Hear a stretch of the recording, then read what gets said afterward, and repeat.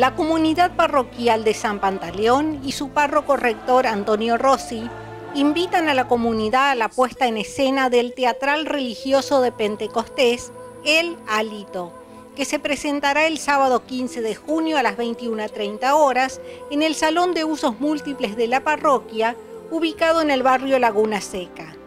Un espectáculo para reflexionar que bien vale la pena ser visto, cuyos papeles están encarnados por los miembros de la comunidad religiosa.